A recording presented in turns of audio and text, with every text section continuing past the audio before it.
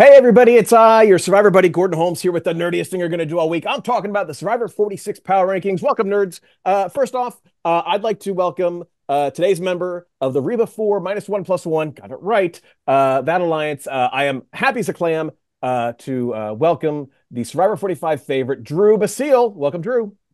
Favorite is strong, Gordon, but I'll take it. And oh, I'll tell you though, favorites.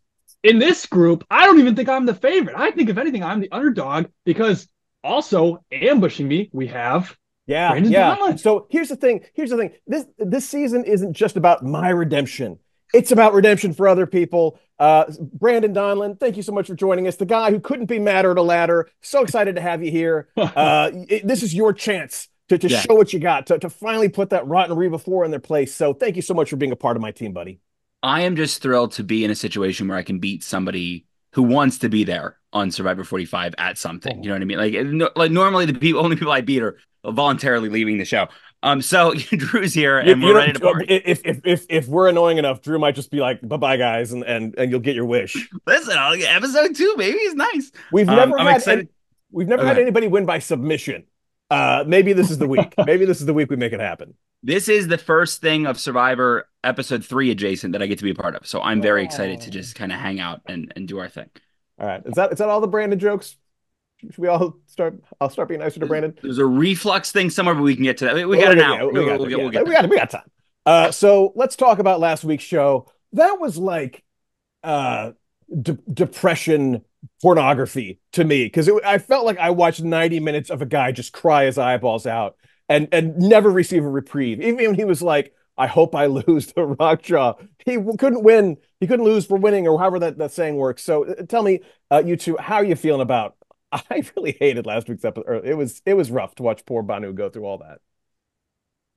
Yeah, it was. It's, it's it's a tough one. You know, after having been on like a losing tribe, just the dynamic of Yanu versus Lulu is so paramountly different. And like Lulu, we were having fun the whole time we were losing. Like I for the five days that I was there, you know, we were chill. We were it was funny. Like when we got back from each challenge, we would laugh, we would, you know, riff on whatever. And it just seems, you know, I feel so strongly for for Bhanu and for Jess and Jelinsky to a degree of just like having an experience that is not only like not the thing that you want when you go to Survivor, but also being on a tribe that just doesn't ever have that camaraderie that like you go there for. Like I mean, Drew Drew lived it. Like you you go there finding that group that you want to move to the end with, or just even like each other a little bit. And it just doesn't seem like this is the group that when they're putting together their their puzzle pieces when they're making the tribes is this you know oil water and you know mayonnaise all the other shit like it's it's not a good concoction what they got going on yeah i, I agree brandon and uh, it's an interesting tribe because on paper i really think yanu should have been the strongest tribe right they've got three strong men their women are strong um and they they can't work together at all. Like complete personality clash. I think you also got to account for you know Bhanu was so in the pits because it just rained and storms hit hard on Survivor because you have no cover. You're pouring wet. You can't sleep, so you're completely exhausted. I really think that plays into things. Although I got to tell you guys, I found I don't think I was the only one. I found the episode to be kind of funny. Like there were so many moments, like when he like he's like, they called me a fool. And Ben in the background, like a video game character, he's like, that does not rock. Like, come on. That's pretty good. I don't know. I don't know. Maybe maybe you guys are more empathetic than I was, but I I, I liked it. Well, the, the joke I made is that Ben doesn't understand good and bad. He understands rocks and doesn't rock. Uh, he, a lot very, of not rocking in this episode. Yes, he's, lot, he's, he's very much the the Jack Black character uh, from School of Rock uh, very much in that sense. Uh, I, I, have a question, and I sorry, Brandon, this one might not be for you. Um, yeah. When a tribe shows up at uh, at a challenge and somebody's missing, uh, how easy is it to read into what exactly happened, or is it more of a guessing game? Does does Probst's questions help you kind of figure out what happened? You know, Probst, to his credit, consummate professional. He really does not give things away, right? I mean, he's been doing it long. Maybe at the beginning he did. He's been doing it long enough that he's like polished. Um, but I do think that especially in a three tribe format, the tribal dynamics are very formulaic. You either have like the, the weaker, stereotypically weaker people go, um, awkward, whatever. And if that doesn't happen, um, then you can safely assume either there's an alliance of the the bottom or there's been some kind of upset. You'll hear about it at the journey. Um, so it's kind of, I mean, it's kind of unfortunate the demographics play into it that way. But then you have to account for the fact that like certain people are way more active on the mat, and it reminds me of your, you know, your home, Brandon Lulu, where Emily said one thing, and then Sabiyah was like, "Well, actually, uh, you know, Hart does win Survivor." So okay, right there, you can obviously tell what the dynamic is, and like Soda snatching the idol away from Venus, rookie maneuver because it shows that Venus is on the bottom, Soda's pushy, and Randen's got Venus's back. You've got the whole tribal dynamic in, in ten seconds. So real blunders on their part, and so, safe to say that there have been enough clues there that um, they could probably figure out Randen, you know, or what, what the dynamics yeah, are. Yeah, no, no, they just the way that they pegged the the Bhanu was the person to take. Um, I, and the, the, even the island visit, like one person doesn't get to participate in the it, just all of it, like just like the whole episode yeah. was just like like you know we spent ninety minutes and then just for at the last second, um, you know, bye bye, uh, Randen. Uh, I, I guess another question is one thing I found really interesting. It's Ben came back and lied about whether he knew he had a vote or not. I thought that was really interesting so that they couldn't rely on him for a vote, but also they couldn't ostracize him because he might not have one. I thought that was really clever. I thought it mm-hmm. rocked. It did rock. The yeah. the only the only downside that I can see there is provided, you know, I believe, and we'll get in obviously to the rankings, that Charlie and Maria are the people that are controlling the Siga tribe when they do inevitably get to a vote.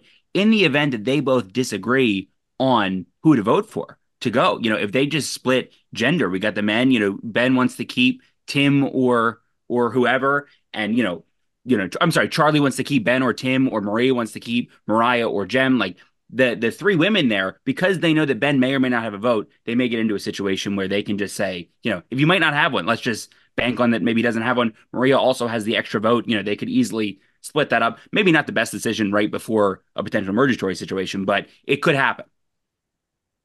Yeah, and of course, like there is a question of like how secret is Ben's secret really? I think the half lie is a good maneuver because you really can't tell these big lies anymore on 26 Day Survivor. The expectation is that like you're getting something, um, and the game is so quick that like, I mean, you you're gonna have to put up pretty quickly.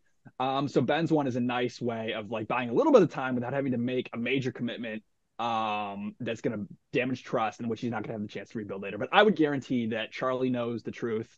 Um, and I think that means Maria probably also knows the truth.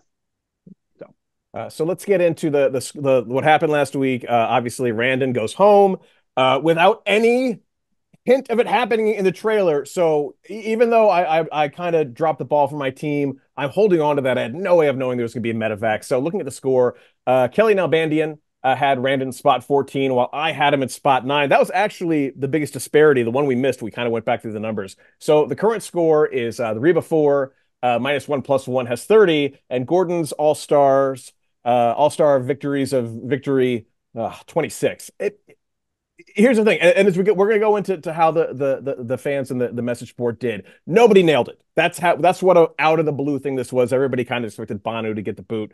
Uh, so not, like I said, not a single person called this one. And if you if you did poorly, I'm going to say this in advance because a lot of people did. Not your fault. Like like Robin Williams in Good Will Hunting, it's not your fault. It's not your fault. Uh, spot 15 uh, ex- did extremely well. Uh, Jag 519 and Logan Smith, well done. Uh, spot 14, tied with Kellie. We had JP 15 as me. In spot 13, we have Cats Rule the World, Chris Hamoan, Nikki 20, Kristen Dicker, Nadia X- X01, and Ice Kafevi.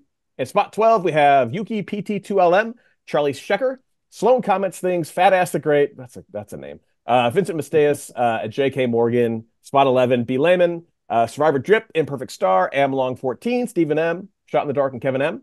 Uh, excuse me, Kevin A. Spot 10, Rat Gravity, Z and Ramos, Rowan 3213, Cody Bramman, Mouse Sparks, and Potato Dog. Love you, Potato Dog. Uh, spot 9, tied with me, Brandon Davies, uh, Ka Rasu.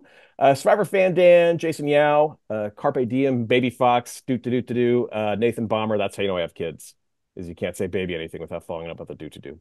Uh, it, it's here's okay. I know people hate stories about people's kids, but my my daughter was a huge Baby Shark fan, and I'll chase her and she'll be like, "Run away, do do do," and it's adorable. Kids. Uh, I might edit that out. Uh, in spot eight, we have uh, Dylan W, J M Chap, Andrew Gulia, Kendra McClanahan, Ferret Bandit, Joel M. Gallagher. Spot seven, Eric Swain, and Saxophonia 23. Spot six, Huffy 991 and Ghetto Hamster. Spot five, Alan W, Dominic Reisland, and Evan Swihart. Spot four, Sean Gohan Con- Canado 61 Canado 6129 and Sea Blazer C.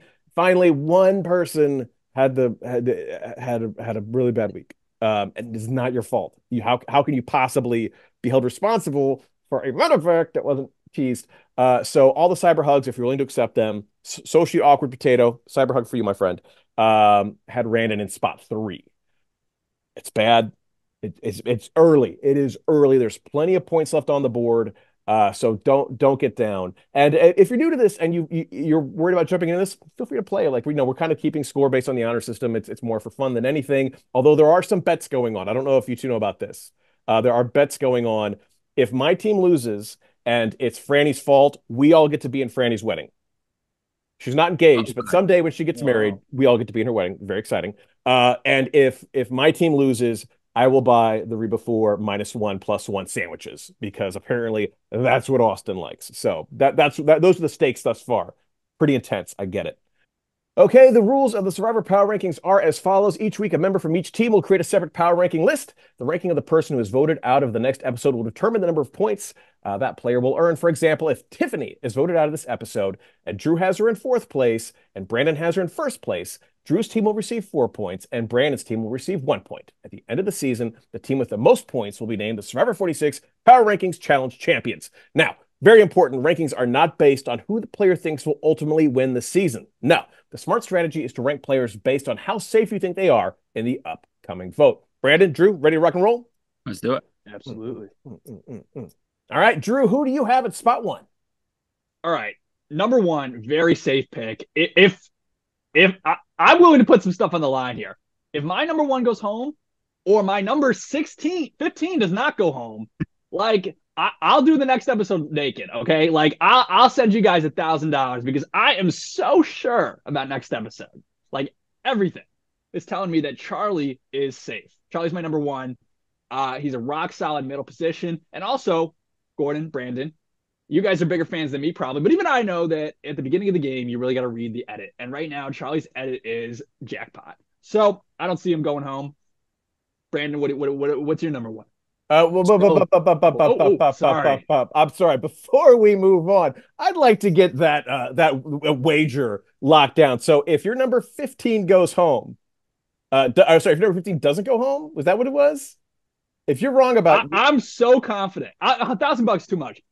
I'm. I, I'll buy you guys DoorDash if my number 15 does not go home. Okay, and I'll you'll do, do the next episode naked. So we'll get DoorDash. At least and... shirtless. Yeah, yeah, yeah. Well, we don't. That's we don't pan down. Yeah, we and we can even leave the naked thing. You know, we a, oh, uh, whoa, whoa, whoa, we no, we definitely need. The well, naked know, it's a family show. I'm a sex symbol. Yeah. It's it's it's assumed nudity or alluded. You guys, it's alluded to. Yeah, implied. All right. Remember the Top Gun montage? You know, I'm just saying. All right. But, oh, but anyways. Cue the music. All right, that we have it on tape, so like that's that's legally binding. I'm pretty sure. Ooh, DoorDash. All right, sorry, sorry to interrupt. Uh, Brandon, number one, please. So I also, you know, my number one, I feel equally as confident. I will not get naked. Reddit doesn't want that. I, my girlfriend probably wouldn't like it. I will just stay clothed, but I will tell you my number one is Tiffany. Tiffany, you know, she's got an idol. She's rocking with an idol. She has, you know, Q also, I think, kind of in her back pocket. The way that I believe the edit is showing us the Yanu tribe is that Q is in this. I know we hate car analogies, but driver seat. But Q does need to ask Tiffany if they can, you know, what she thinks about the Kenzie plan. Like Q has this idea that maybe it is smarter to keep Bhanu. Bhanu's with me. Bhanu's going to be loyal to me. Let's get rid of Kenzie. You know, Q has to bring that information to Tiffany. So Tiffany has one more level of knowledge than anybody else on that tribe at this point. You know, she can kind of control where everything goes. You know, granted, the, the, the number 15 is probably going to be a unanimous number 15 at the end of this thing. But if it's not, you know, I believe that person probably is likely going home. If it is going to be a shock vote, it likely will be Kenzie. And I think that will be Q and Tiffany leading that charge. So I do have Tiffany number one. I think she's playing great. I'm loving watching her. And, you know, hopefully she doesn't. If, if she goes home, I screwed the team and I'm going to be taken out back and shot. So let's hope not. Number uh, two. I, am sorry. I got to harp on this a little bit longer. Yeah. Um, I I was going to win. Um, either either Bono was going to go home, we were going to tie, or Kenzie was going to go home, and I was going to win. So when Jeff Probst showed up on that beach, I just held my monitor and screamed and cried a little bit, and then went and checked the numbers and saw how much of a loss it was. I, I, like I'm gonna let this don't, don't this is it. I'm gonna let this go. But if Kenzie went home, that was a win. That was a win. Like there was no way I was losing unless Tiffany went home, which wasn't happening. So proceed. I'm sorry. No, no. Also, you know, okay. we, we all, you know, gripping bit. the monitor. It's a lot. You know, I gripped the monitor a couple times during Survivor 45. Um, just the first two episodes. After that, not so much. Number two. Let me tell you about number two. Number two, I have Hunter, the golden boy the the construction, the Home Depot manager, whatever he's doing out there, building stuff. It's great. You know, the IKEA. He's fantastic. He's he's in a situation where Nami would go to tribal council, there's presumably two more rounds of play left before emergatory situation. There's no reason that they would take out Hunter, who is their biggest challenge asset. You know, challenge strength is very much important, but it's a little bit less important, I believe, at the fourth and fifth votes. You could make a play to get rid of a strong challenge competitor, like last season with Sifu. They were going to get rid of Sifu in that fourth vote. You know, getting rid of Hunter here just wouldn't make sense as he is kind of one of the the pillars of this tribe. You know, Venus had her eye on Hunter, and I think that maybe if Venus stays past the the the pre-merge portion of the game, that may factor in later. But right now, she does, he doesn't have the eyes on him. He's got Tevin as well. So I think that Hunter's chilling and building some more stuff for a little bit. All right. Drew, who's yeah. your spot two? My spot two is not Hunter. Um, he's a little bit lower for me, but I have Maria uh, for very similar reasons uh, as I have Charlie's number one, which is they're the pair. They're going to move together. Um, again, somebody who has been glowingly portrayed in the edit. Um, really intelligent, really pragmatic. I just can't see anything happening to her. And so for that reason, you know, she's my obvious number two. I'm sure she's up at the top for you, Brandon. Uh, but I'd be shocked. I really would. Hunter, I'm a little less less confident on, but I, yeah, I agree. I agree he's probably safe. My number three, however, is someone else from that tribe, the Nami tribe.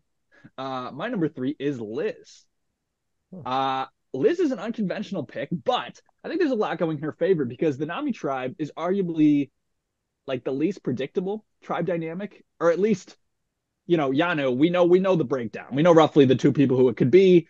Um, Siga, we we know the who is in the middle. But Nami, there are so many like high personalities, big personalities. They're all not getting along together. They have zero intergroup cohesion, which means they're going to be a disaster come merge. I mean, I, I see horrible things in their future, but right now, I think they'll likely win the challenge. And I think also, if they don't win the challenge, those bigger personalities are gonna are gonna hash it out. And Liz, who's a little bit kooky, who's a little bit quieter, is going to be with Hunter as kind of like an under the radar number to swing the majority.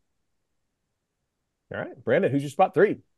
Love the Liz analysis. I wanted to put Liz. Liz is towards the top of mine. I wanted to put her higher, and I, I echo all of that. I can't wait to talk about Liz. But my number three is Q. I love I I love this guy. I love this guy. This guy is one of my favorite people that I've watched in Survivor in a long, long time. I love his style of play. I love how funny he is. I love the conversation with him and Bhanu talking about, you know, the Rob to your Philip. And Bhanu's like, all right, great. You know, that, that sounds good to me. I think Q is playing fantastic. The only reason that I have him ranked lower than Tiffany is just because Tiffany has, I think, a little bit more information. Tiffany also has a very tangible advantage in Survivor, which is, you know, definitely helpful. Um, but I think the Q is there's no scenario where Yanu loses again. And let's be honest, probably gonna, right? He will, you know, Q will be back at Tribal Council. There's no scenario where I believe that it's him, but I do believe that like he could be left out of something. Like that could happen, I assume. Um, but I think that he is mostly safe for this this version of the the you know it the version this cycle. Yeah, I love the uh the, was it Bhanu was a liability that could become an advantage. And Kenzie, I forgot the term he used, but like was never going to be work in his favor. I forgot the term, but it was like a really interesting way to sell that to somebody, to sell that to Tiffany. Like, yeah. you know, Bono can be in our pocket, but Kenzie's always going to be playing. Like, I really, really like that analogy.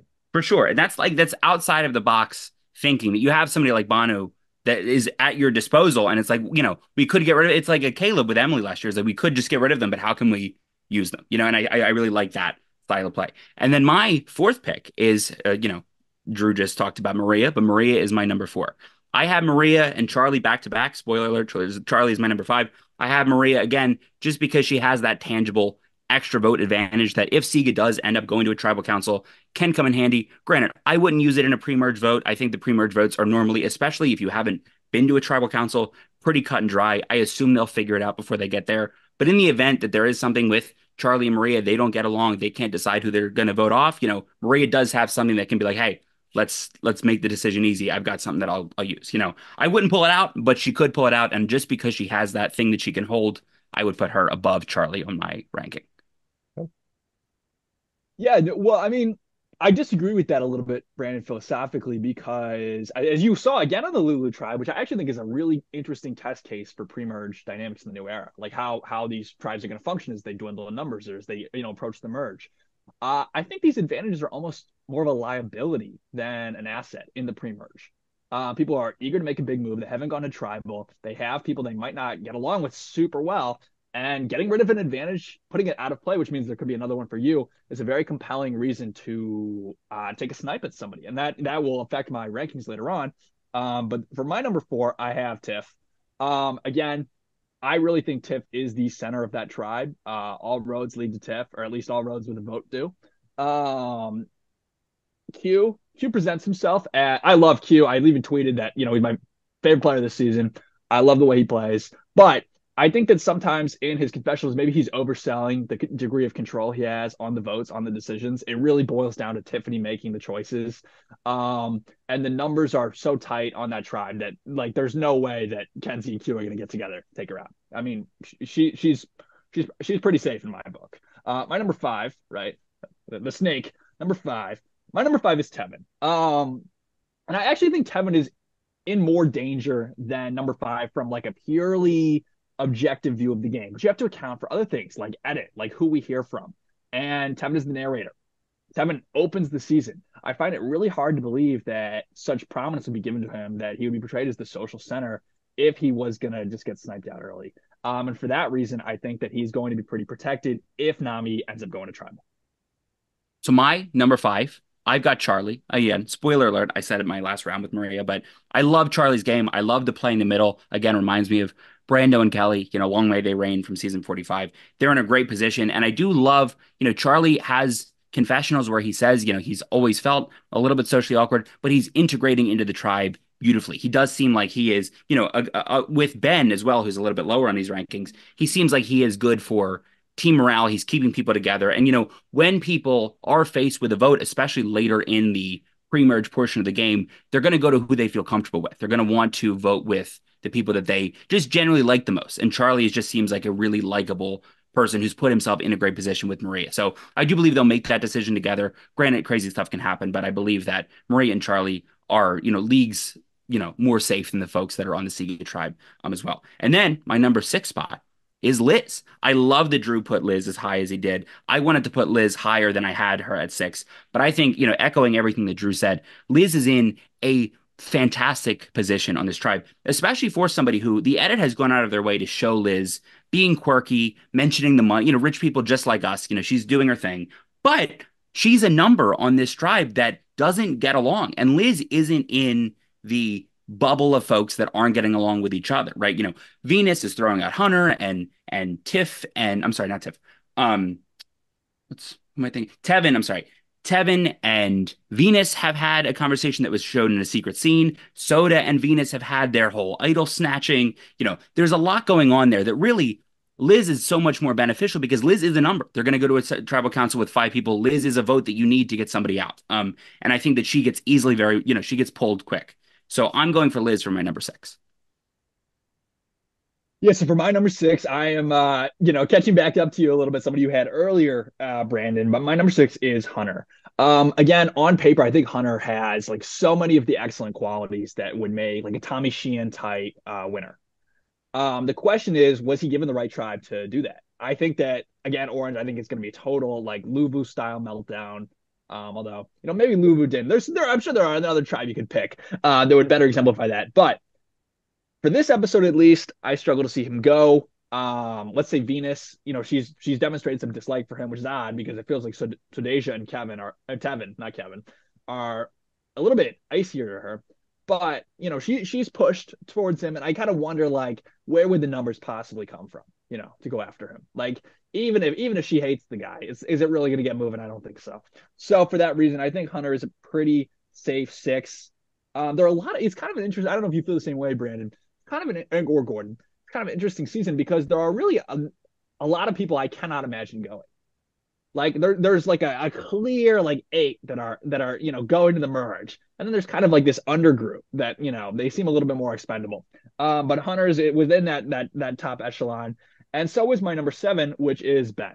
Um, Ben and Charlie obviously have a bond. Um, the Metallica thing, I honestly thought it was stupid, totally unnecessary. Uh, but why would you include that if they're not going to work together? You know, that would be ridiculous. It would be ridiculous. So clearly, they clearly there's got to be some love. There's got to be something in the water, and Charlie's going to cue in his uh his his close ally, maybe not number one, maybe Maria's number one, but going to cue him in if, if if they make a move. So for that reason, Ben is a safe seven. Um, he's a funny dude. I like him a lot. I like the personality. Um, I do think that when the merge happens, I need to see a little bit a little bit more substance. You know, he's got a lot of catchphrases. He, you know, he's snappy, he's witty. Um, but I, I do think there are some questions about like game aptitude um, and really if he's going to get the credit over Charlie or you know over his allies um, on the Green Tribe if if it comes time to make a move. Drew, I love how you make it sound like there are players in the game that have like plot armor uh, based on how they're being portrayed. That maybe this, maybe they need like a Drew Barrymore and Scream kind of a moment where somebody that it seems like is going to the season's going to revolve around just because it's like axed first. Maybe that's the move. Hey, it would it would be good for your team, wouldn't it, Gordon? But right now, I I'm a literature major. I study lit, and I'm very confident in my grasp of narratives. And I think that you could read the narrative and and save away a number of people. That DoorDash is going to be so sweet. this, like where, where where near me? I was just saying, there's no Cajun food near me. Where near me has lobster and uh you know good steak. Gordon. Go get it. Yeah, go get a go get a filet mignon. Uh, is did, uh, I, I was wondering if Drew was going to show up or if Basile was going to show up, but uh, with the level of smack talk, feels like I'm talking to Basile here. Listen, Gordon, you know I I'll tell you, I've been traveling all day. I just got in. I'm I'm exhausted. So it's not Basile. In fact, I just my judgment is tanked out on me. Like I'm making wild calls. I'm reorganizing the power ranking, uh, which is going to give you you know a high volatility maybe you'll close the gap, Gordon, because uh, you need a win. I'm telling you. I'm not All stars are like like a JV team, so I'm not I'm, above I'm, it. I'm hoping people will come in.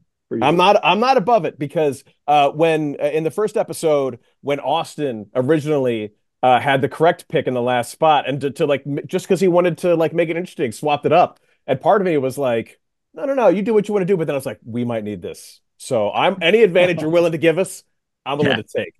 I don't want to speak for the call, but nobody needs a win here more than your boy. So I just like if we can just clinch this and we get one in for me, I'll take it. That, that's win one for Brandon, please. That's what we need. Am I up? I think I'm seven. You're up. Yeah, I think you are. Seventh Tevin, that hit 90 show that we all loved. My oh. seventh person is is Tevin.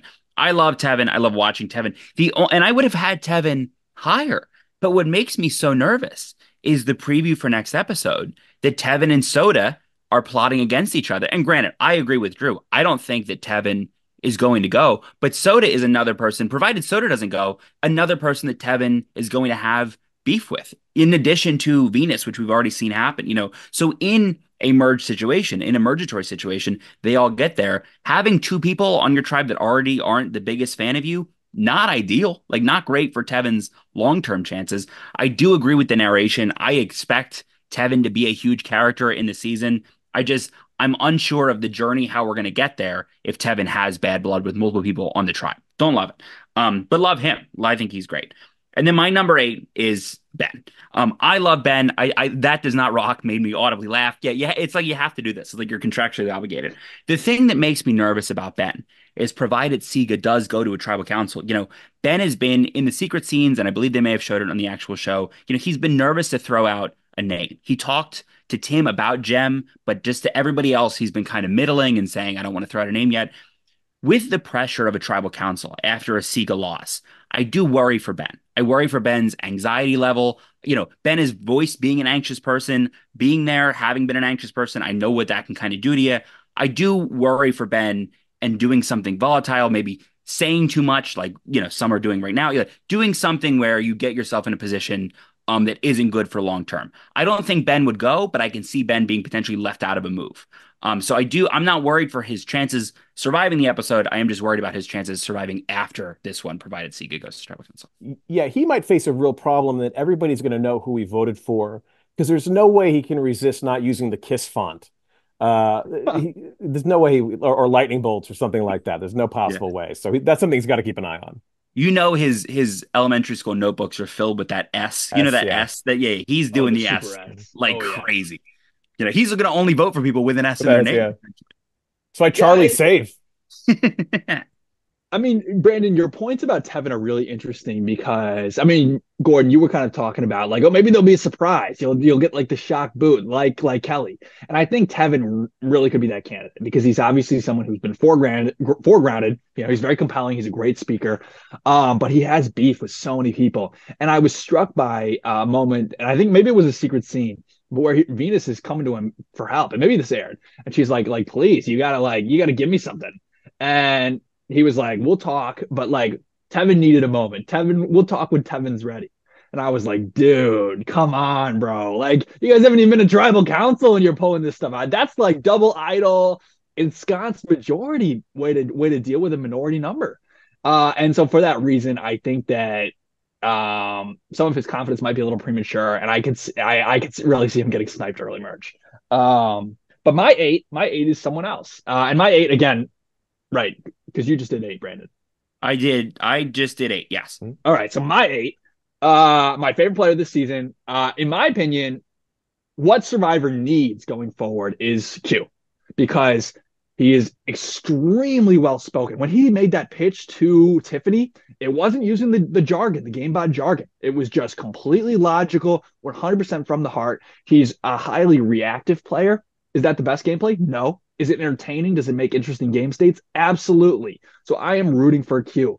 But when I look at that um, Yanu tribe dynamic, I say this is a tribe that um, people with, with a losing mentality, right? I don't know if I buy that Q was just testing them. I think that he had sat in the rain for two days and he, you know, he was okay not being there. They're they got a losing mentality. They're going to lose the next challenge. I put money on it. Um, and I think that when that happens, or if that happens, uh, Kenzie and Q are going to suss out that that Bhanu is not there, right? It's do they take a shot within the three tribe members, or do they defer that decision? Um, and you know that could mean that he's a prospect. That could mean that Tiffany's got to got to choose. So for that reason, I think that he's not as safe as Brandon had him, but I do think he's making it through this episode. Okay, my ninth. I forget the order. So for me, this is the point where people start to get a little bit vulnerable. Um, and it's Tim.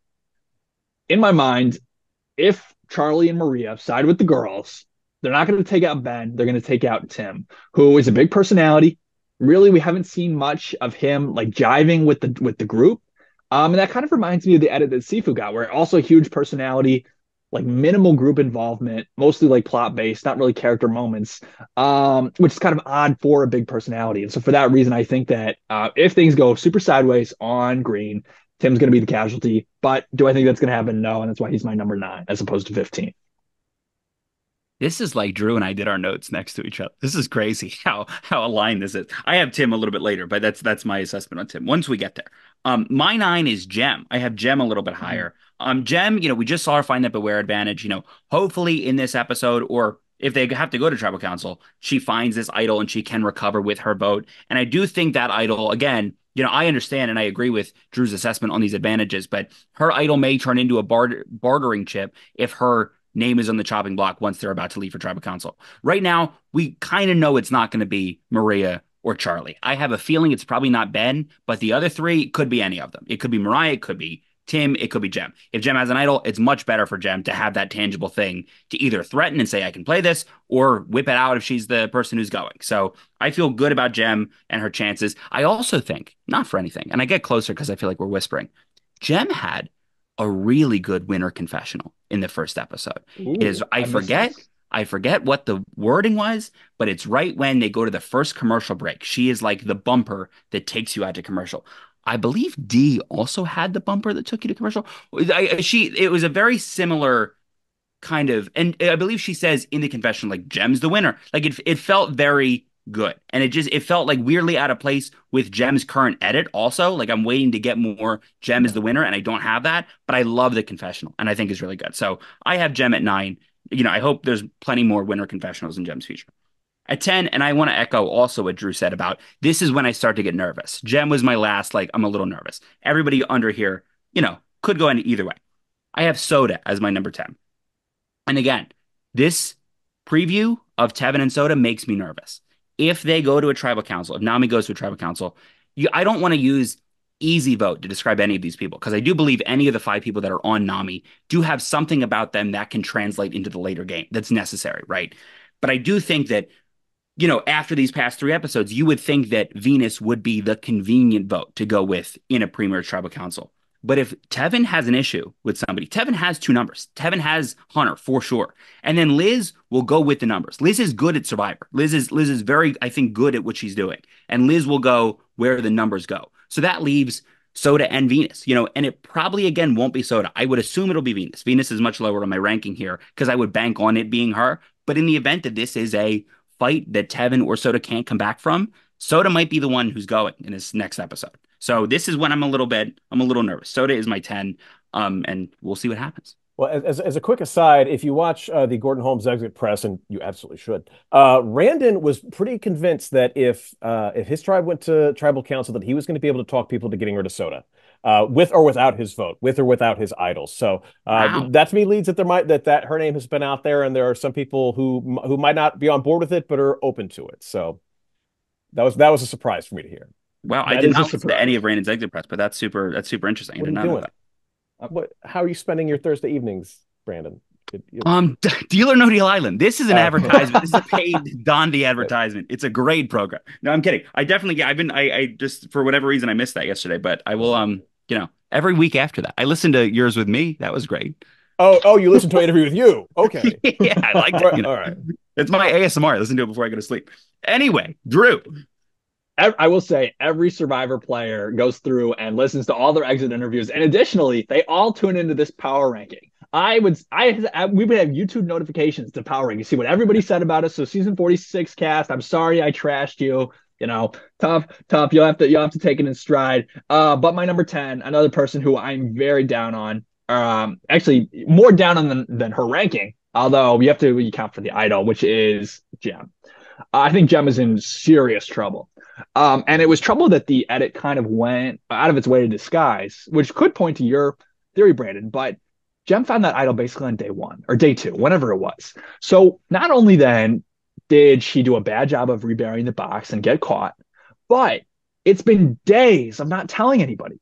So now she's in a position where she can't tell anyone about the idol to build trust because it's been too long. They all know it's been sitting around for at least a while. Um, and that's bad. That's really bad for her. Um, so I, I think that could rebound against her because if I was that tribe, if I was the secret tribe, I would pick that pick that box right up and set it in the middle of camp so that nobody can get to it without seeing. I mean, make it a birdcage situation, honestly, especially if you don't have the item. So I think that things are gonna get a little tricky for Jem, and I think the fact that she didn't like make sure it was it hidden better um could bode ill for her strategic sense in this game. Um, and so for that reason, I think that she's a vulnerable number. Uh, my number 11 is Kenzie. Um, whoa, talk about like coming in hot. Kenzie is like an asteroid like entering the atmosphere because she is on like day seven, whatever day it is. I don't even know. I just caught up yesterday. Uh, day seven. Every tribe knows that she's the quote unquote mastermind. Now, how credible is Bhanu? Open question. Maybe they don't believe him, but she's been playing way too hard. And I, I have to tell you, I wasn't a fan of the way she handled her interaction with Bhanu. I really liked the way that Q handled it. I mean, she spoke to Bhanu, obviously giving him nothing. He knew that. Um, don't when you go on Survivor, don't be like, you got to come to me with a plan first, and then we can work from that. That's basically like, I don't want to work with you. I'll do it only if it's absolutely necessary and convenient. Don't do that. Say something else. Um, and so I think that that that heat combined with um not really managing Q and Bhanu very well could come to bite her. Uh, at this point, they're they know a merge is coming, and Bhanu's going to spill. It sounds like from next time on Survivor that he told everybody everything, including that Kenzie is a huge, massive threat. Um, so do does this underdog tribe with no numbers really want to go into the merge with prior target priority number one? Open question. I wouldn't. I'd, I'd want that out of there. For that reason, Kenzie's my number 11. Love it. I can't wait to talk about Kenzie when I get to Kenzie, which is going to be again, spoiler alert, a couple more spots. Um, for my eleven, I have Moriah. Now Moriah has had a very quiet, just like Tim, who's who's here as well. You know, has had a quiet couple of episodes. But what I take from Moriah's game is she has a confessional episode one talking about how she finds it difficult to connect with people. She's doing Survivor just to get out of her shell a little bit. And when you watch the Siga scenes with Moriah, she's doing exactly that. She is a fundamental part of their tribe dynamic. She's having fun. You know, when Ben and Charlie were doing their 28 long 28 minute long montage of the Taylor Swift versus Metallica, Mo is in the middle of it, you know, making jokes like you know, Ben says is I'm sorry, Charlie says is the all too well 10 minute version different, and then she's like sustained. Like she like she's in it and she's joking, she's having fun. And I really do like that for her. And I think that the same thing with Charlie in a situation where they do go to a tribal council, you do want to keep keep the people that you just like the most, that you vibe with the most, you know, especially in the early game when you're doing a vote out of convenience. You know, I think Mo is doing exactly what she set out to do, which was just connect and be in with a group of people. Um, I can see her just like Liz on Nami being pulled in just to be a number for whatever plan happens to go down there. You know, she is again getting a quiet edit. We, you know, some people get quiet edits and they're there for a long time, some are not. You know, we don't know, but we're hoping that you know Mo, you know, kind of gets pulled into something, and then we have, you know, she gets 15 epi- you know confessionals next episode. Bhanu broke the record for episode three confessionals. Wow. Yeah, yeah I believe he got. a lot of miracles happening. I believe he got 13 or 15 in episode three, which is the most that anybody has had in episode three. Crazy. And, well, and, any episode ever, or just in a, a third episode? Just the third, third episode, episode, I believe.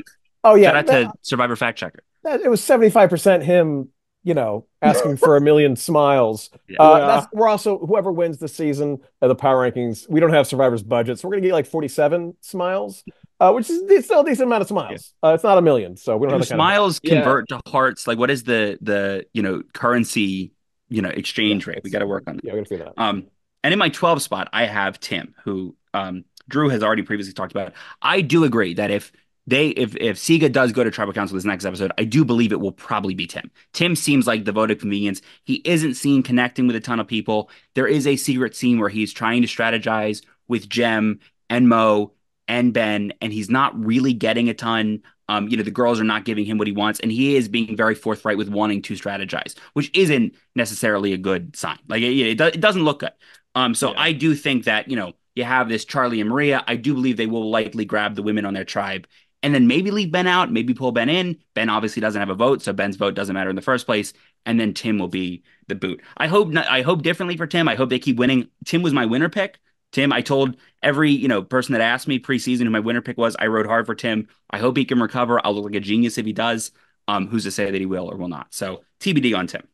Dude, I got to start watching these secret scenes, man. Like the only one I saw was the Tevin one on Twitter because that's vital information. I didn't know that. I I I thought Tim. I thought they were going to side with Tim over over the ladies. So I, I'm I'm sweating here. Yeah, I believe uh, that was a secret scene. I don't think it was that this week or last. I believe it was this week. I believe it just was this past episode. What's crazy, and I love the 90 minute episodes. You know, all Survivor's good Survivor. Um, they are leaving out secret scenes that should be in the episode, like the oh, the yeah. Tevin and Venus argument that was in episode two, a secret scene, there's no reason that shouldn't be in there. Like that, that that's that's vital information for us yeah. as the viewers to know when we're doing this. Like this is it's convenient, you know, to have in the episode. Well, I do um, know and, when they when they do the editing process, I know they're thinking like, what are the power rankers gonna think of this? I know that's top in Pro- Probst's mind. He always tells me that. So that that's a they, they dropped the ball on that one. I'll, I'll let them know. Yes. frustrated. But again, oh, we got the long montage, which is great. That's what that's what Drew wanted was the Metallica thing. Yeah, um, I was so hyped for that. And cut every scene for the Metallica montage. Love, love Metallica. Love Taylor Swift even more. There's some T Swift CBS cabal going on. She's everywhere on, T- on on CBS. All of a sudden, they're using her music. Well, I said this I, I think that could have had something on the Super Bowl. How on earth the Super Bowl did they not have a Survivor ad with Charlie listing 108 Taylor Swift songs from memory from Fiji? Drop missed opportunity. Missed opportunity. Yeah.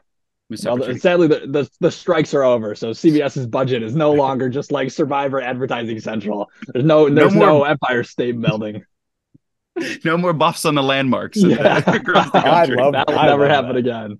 Oh, yeah, I mean, 45 was was nice because it seemed like like the the production they promoted it. You know, they felt like they found some new love for the show.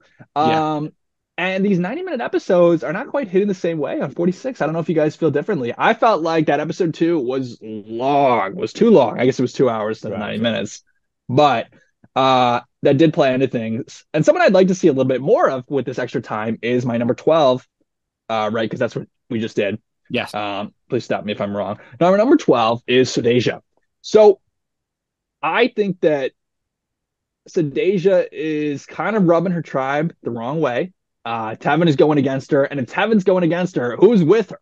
Right? Hunter was annoyed by the seeing. She blew Venus off uh, in a very bad instance of gameplay. Um, and Liz, I mean, is Liz gonna lay down on the line for Sudejia? I doubt it. Um, and additionally, she's not necessary for the challenges. So I think for all those reasons, um, Sudejia is a is a high likelihood boot either now or in the near future. I struggle to believe that um, she's going to have people to back her if like things swing her way. Um, so again, she's in she's in the kind of this like bubble zone of people that I just can't imagine do that well, make it that far. And I also you got to ask yourself, would would the show be using her the way that they are if if she was the killer, right? I mean, they love that kind of archetype. They love somebody who's quirky, but but comes into their own and, and stands out and doesn't compromise. So I don't know. I don't know. Uh, my 13 though is who I think will ultimately end up going um, from the Nami tribe if they go to tribal, um, and that's Venus, um, because with Randen gone, with no idol, right, or no idol clue, whatever it might be, she's really drawing dead. Like the the only thing that's going to save her is if somebody has a complete meltdown and like they just forget about her. Like she's been on the bottom so long that maybe now they start to like look over her. You know, she's so down down beneath that they they're overlooking. I don't know. I mean, I I I'm not sure. I think that that tribe is going to lose the next challenge, although they've had a major challenge competitor taken out. Um, but I do think Venus is like if she doesn't go pre-merge, she really is like prime earn the merge boot right? Because nobody will bat for her. She's not really the strongest in the challenges. Uh, so suffice to say, I don't think her days are. I think her days are numbered. Love it, love it. We're gonna get into again very, very, very mirrored thoughts here. I have my number thirteen as Kenzie, and I, I think that Kenzie, you know, Kenzie benefits so well on a tribe that isn't losing. Like if Kenzie is on a different tribe, she's chilling and she's booking it with her group. You know, she is somebody in a Reba 4 situation. They find that group and they're booking it to the end. She hasn't had that luxury with Yanu. She, she does she they have lost a couple times and every time they lose she sticks out more and more. And and the you know, the curtain is being pulled back and she, her face is getting, you know, an inch an inch an inch an inch. And that worries me. You know, they are going to probably vote out Bhanu in this tribal council that we all are assuming they're very much going to, which is very funny. What? But if they don't, if if if they, you know, if Bhanu does something, if a, another miracle happens, if six more happen, who knows? Kenzie is the decoy surprise boot. Kenzie has a beautiful pre-merge arc the like like of JD Robinson, of just somebody who is in it and very involved in it and then just isn't. And I, I really like the storytelling perspective of somebody who comes in, comes in hot, like Drew said, and then kind of burns out. Especially when you have a decoy like Bhanu who's there, who again probably is leaving. But in the event that he doesn't, I don't see a scenario at all where it's Q or Tiff. It will be, you know, Bhanu or Kenzie. Bhanu's going to pitch Kenzie, I would assume, and then we'll see what happens. But I do think Kenzie's in a tight spot here. And if I'm calling my shot, because that'd be pretty impressive. Um, again, not enough to put him to put Kenzie 15th because 15th is, you know, um, we'll get to that. 14th, however, is Venus. Um, unfortunately, when I do talk about that vote of convenience, you know, as Drew said, Venus has been on the bottom for quite some time, but Venus's saving grace is whatever is going on with Tevin and Soda. Like that that that is the perfect vehicle for Venus to be like, hey, I know we've had a rough couple days, but let's, you know, and I, from what we've seen, it doesn't seem like Venus had ever mentioned Hunter's name to anybody but Randen. Randen heard that Randen's gone. So we have to just see, you know, she can swallow that and forget it and then just like, hey, you know, Soda, Soda took the, you guys, you saw it twice that happened. You know, Soda took the idol. That's the perfect vehicle for her to get back in. And, you know, from what I understand about gro- groups who do go to a pre merge tribal before a mergatory situation is you do get to solidify those bonds. You feel it's like you go through a traumatic event together. You do feel stronger. And if Venus is in a group that will do that, like Venus was part of it. You can't take Venus's vote out of the situation. Like Venus came up with the plan and was instrumental in it. And they do have that trust locked it. Um, so I think Venus could have a saving grace here. Um, but who knows? You know, if they lose, I don't I don't think it looks great. Um, but it could, you know, it could happen. Yeah, it's tough. I mean, I, I there was a moment with uh Randen where Venus was like, Hunter's a big threat. Don't you I mean, do you agree? And he was like, Well, I haven't seen that. Um, can you walk me through your logic? And she's like, Well, I have eyes, so it's obvious. I was like, Oh dear God. Like Wait your a minute, only ally. You have wait a minute. You have eyes. Oh, I'm in. I know. There, sold. see, there's You so can't much, spell like- Survivor without two, one eye, two eyes. I'm sorry. Keep going. I think there's only one. That's uh, Cut it. Cut it. don't staying include that. That's staying. Well, anyways, uh, you know, there is an eye in immunity, so maybe it'll maybe it'll work out for Venus. But that's some some sloppy play to that would indicate to me that maybe like, you know, there's a big mouth which is gonna is gonna you know include this kind of playing under the radar, kind of like pulling the strings type gameplay, which which would be urgently required. Um, in that situation.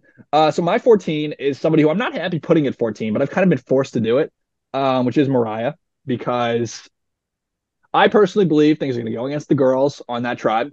Um, and if they do, Jem has this idol. So it's like, who's going to land on, you know? And I can't imagine Jem doesn't tell uh, Maria about the idol uh, if push comes to shove. Like, like if the box is a big issue and she needs help getting the getting the the the, the advantage or the token or whatever whatever it's going to be. Um, I look at Moriah and I see someone who has no momentum in the edit who's like got their emotional moment at the very beginning of the game just to like set tone and then has kind of disappeared. And I feel like this the end of the pre-merge is like this weird spot where you know you have to devote a lot of storytelling time to these early boots right? Because they're the they're the, the story as the season's getting rolling. And then the merge is coming up and that's going to be the narrative for the rest of the season. But this pre-merge is like you know what do you do right? Do we, are we really going to build up like a big person? Like brando god rest his soul he kind of got like underplayed Brando, the edit is a little bit. okay? Yeah, he just got voted off. Oh, okay. And similarly, I think uh I think things do not look good from that edit perspective for Moriah. Uh, my 15 though, I think you know you could have you could have put everyone else in any other order. My 15 is Bhanu. Bhanu is not getting another miracle. I I I think that Bhanu has exhibited some of the worst survivor play uh, we've seen maybe ever. And I don't want to rag on the guy because he's been going through it. He's had um he's kind of been ostracized. I feel like they've been a little cruel to him, honestly, on that tribe. But he's done himself no favors. Um like he had the opportunity to get the get the solve the puzzle, couldn't do it, just folded under pressure. I mean, he he stopped even attempting it, right? That to me is not the kind of like like between the rock and the hard place, momentum, adrenaline that you need to pull through in this situation. Um, I don't think Tiffany is going to uh, want to lose either of her numbers. I think if Tiffany won't compromise, you know, that's a deadlock on that tribe. So I think Bhanu is going home. Uh, I've I've wagered at this point quite a bit of money, my dignity on it. So I'm hopefully hoping that's right. But I think that uh, Bhanu is toast. I could DoorDash toast. You had my fucking joke. I'm so mad about the joke. um yeah yeah it's not looking good and i just want to say as somebody who like didn't live bhanu's experience but lived a short rough experience on the island you know if you are watching this you are a friend of gordon a friend of mine a friend of drew's you know please you know send bhanu all the love if this is his last week because it is a rough situation you know and getting out early no matter like Jelinsky also Jazz, also like you, know the people the, the people who watch the show are not kind you know especially having a you know, you have a guy like I'm a guy who cried a lot on the program, not as much as Bhanu, but I did. I, I cried quite a bit. Um, and it does, you know, I have no shame in that. Neither does Bhanu. I'm sure of it. But the people on the internet are not kind. So if this is Bhanu's week, I request all of you who are watching this, please just send him all the love. He would very much appreciate it. I'm sure. Um, that being said, it doesn't look good. I don't see a scenario that he he comes from it. You know, but crazier things in Survivor have happened, and what a whirlwind it would be if it did. You know, what a what a crazy editing thing it would be if if Bhanu was saved and Bhanu, you know, goes further. Again, like I, I, I, what would you say? Emily flipping, you know, it's Emily ha- it just happened last season. Emily Flippin. Anything is possible. Um, it's Bhanu flipping. Um, who knows? Um, but I just again, as somebody who has lived not the same experience, but just in a you know in a bubble, a similar experience. Um, it sucks to see somebody just have so much difficulty at at at every turn. You know, like I I skew in my personal experience. I believe cl- a little bit closer to Jelinsky, where it's kind of like funny. Bhanu is like kind of left where it's been funny, and now it just feels like you know. I really again, this is just a edit. You know, thing from this past episode. I loved seeing a human moment from both Ben and Liz when they encounter Bhanu on the journey. And, you know, Liz has been portrayed as this like kooky, you know, funny, I have a lot of money, whatever. But Liz is it was a very human, tender, sweet moment, which is like why I love Survivor. Like that, that's the kind of stuff that I love. And then Ben too, with it, that does not rock. You know, you have character insights to both these people who you wouldn't have had had Bhanu not been in the state that he was. So I, I love it for the storytelling perspective, but I do think that this is Bhanu's last uh, last hurrah here.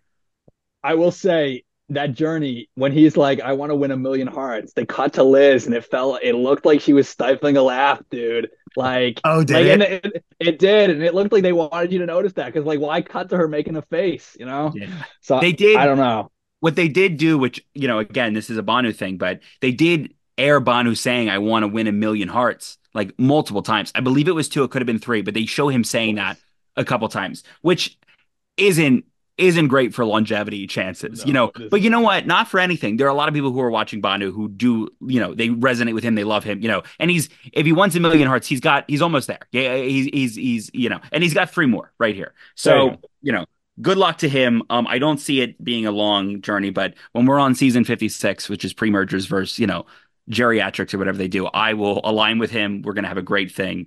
Um, we're gonna we're gonna go to the sanctuary where good things happen. I think so. TBD. There's going to be a, a, box puzzle at the top of a ladder, and you're both are going to be like, "Well, I'm going to Jelinsky that one." I'm like, "Nah, no, thank you." yeah, Jel- two game changers, Jelinsky. You just don't have to do it if you don't want to do it. Nobody's ever figured that out. You can just quit the challenge. You know? I've been saying that, brother. Challenge. I almost then, was like, "This is," you know. you pulled through. I saw it. Um, you did. You were there. And, and then, um, and then Bhanu, first ever strategy, divine smiting. He smited his competition through the power of prayer. You know, he can do it once, he can do it again. I mean, so these tribes yeah. should be nervous. What ha- but, yeah, happens if he's on the bottom again, and and and like somebody mysteriously wakes up with another injury? like, does, when does production step in? Is this like was it the Twilight Zone where the kid could just like wish things to happen? Maybe Bhanu is like is is manifesting these injuries, and, and one by one he's going to start taking people out. So that's something to keep an eye on. Maybe it's the it's the be kind shirt. Maybe that like wields power. Like if that's left behind, and then Q wears it, and then all the numbers go his way, could be something. Yeah. We got to find it. Put it in the Smithsonian it could be like the opposite though. I mean, nobody's been very kind to him. You know, they they carry on the shirt. It's like a you know, it's a curse. It's like a monkey's paw. Yeah. All right, the picks are in. They are locked in. They cannot be changed. The rules are extremely strict in that manner. Right down here. Uh, so we had one lock. Uh, I, I imagine everybody's going to have this lock. In spot 15, Bhanu, unless, you know, like you said, unless another player uh, meets with an unfortunate injury, uh, it might be rough for him to to to get out uh, get out of it once again. Uh, only the biggest disparity. Uh, Q. Uh, Brandon had Q in spot three. Drew had him in spot eight. So uh, if Q goes home, Brandon, you and I are gonna have a real problem. you and I are gonna have a real issue, buddy.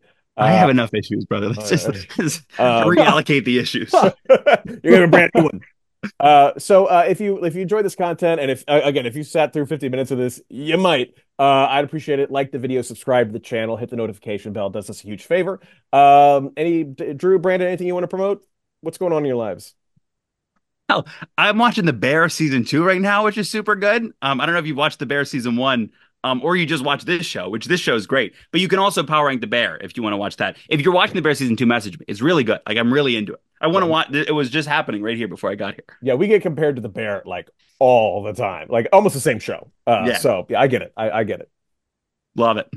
All right. So uh, Drew, Brandon, like I, I get so much from this. I enjoy the strategy talk, and to hear it from people who've been there and lived it is just fascinating to me. And you, and you did such a fantastic job. So I want to thank you both uh, for being here and participating in this madness. Uh, so until next time, uh, for Drew, for Brandon, for myself, uh, thank you for joining us. And I hope you join us next week for even more of the Survivor 46 Power Rankings. Love it.